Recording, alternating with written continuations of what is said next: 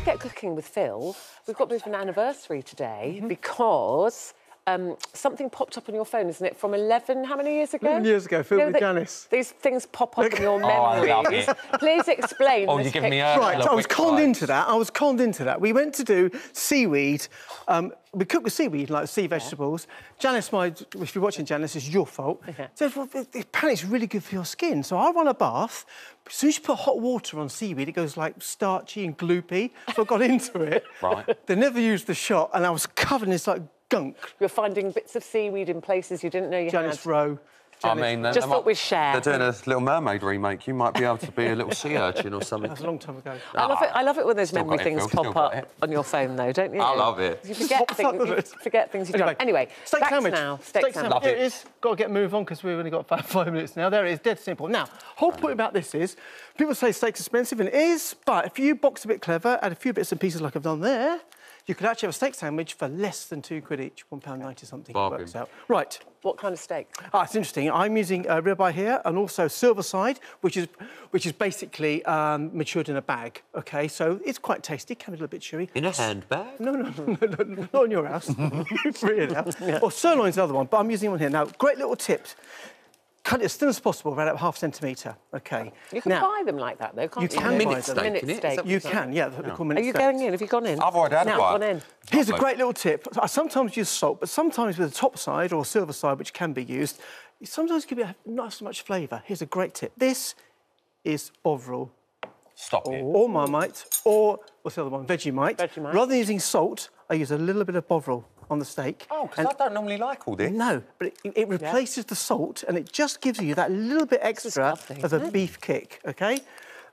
Pepper.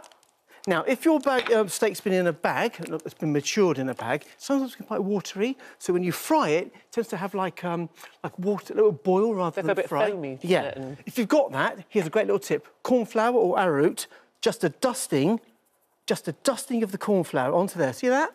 A bit more, Yeah. and then literally, you see that there? Or Yeah. stick? Pat. A little bit on there, not too much because it will go gloopy. So that'll absorb the any moisture. That'll absorb the moisture. So when you put it into the hot pan as I've got here, that's a red hot pan, non-stick, that will seal straight away. And that sugar, sorry, that starch is carbohydrates and sugar, so it caramelizes it and give it a sweet edge as well. Nice. But as soon as it hits, it seals it straight away. Ooh. It's a really good, really good Actually, tip. you're right. When it goes a bit watery and foamy, it starts to boil the meat. Exactly. Yeah, it's it's nice. But be quite brutal with it. Don't worry too much about the plate, like that. Into, I'm trying to cook this in real time. What a brute you are. Boom. Doing there your you go. seaweed out Right. bit. now wash my hands. So whilst that's cooking, and minutes, the clues in the steak, as we're saying, Yeah. a minute steak. So we give it 10, 15 seconds on each side. Nice, if I just turn that over now, look at that. So no water at all, and it seals it straight away. Now at that point there, I'm going to turn the the pan off and leave that. If you like it rare, I know that you guys like it slightly uh, more cooked. This is lovely. It's perfect. It's really lovely. It's lovely. pretty good. So that's it in the pan. Give it another 20 seconds, let it rest. Golden rule. Let it rest for the same amount of time you cooked it for. Right, That so we've done the steak. it Yeah. tender.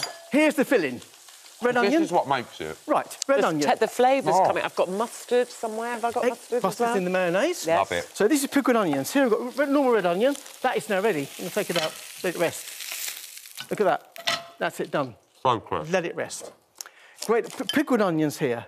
Normal red onion, re- red wine vinegar. Any vinegar will do, but I'm using red wine. Pour that on, and then just add a teaspoon, level teaspoon of sugar on top. Mix it up. Just leave it. 20 minutes. It will completely change the colour. If I just show you that there, you'll see there's a different colour. Oh, wow, yeah.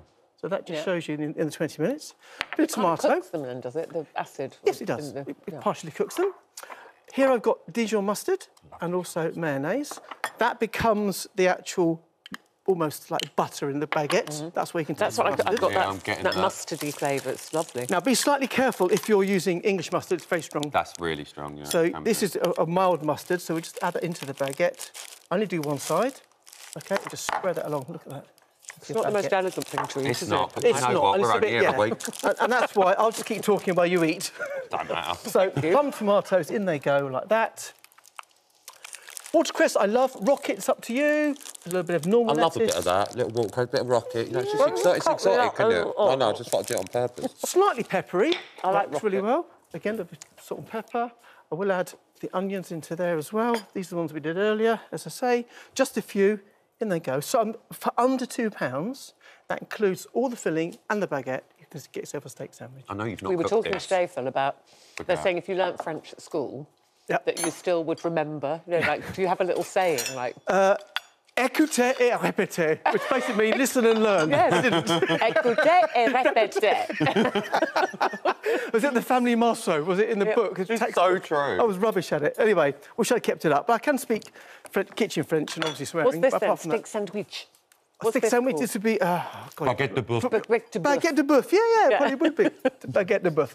Cut the steak in half. Again, I quite like mine slightly rare, so in that goes mm-hmm. like that. You can have that one. It's then. just so nice. I know you didn't cook the baguette, but that baguette's handsome as well. No, oh, no, I did cook it actually. Did you bake that baguette? No, I just cooked it. I was freezing. Just cooked it. Bravo. Right. Really nice. In it goes like that. Look at that. They're uh. all for less mm. than two pounds each. There it is. There. Nice sharp knife. Cut that in half on a slight angle. Mm. And there you have it. It's lovely. So nice. So nice, Phil. And so easy. So easy. And a bargain. Under, under two quid each. There you go. Can't go wrong. Merci beaucoup. Merci beaucoup. Merci beaucoup. Au revoir, Philippe. Au revoir. Uh, for all the details of today's recipe and even more delicious ideas from our This Morning chefs, uh, head to the Free This Morning app.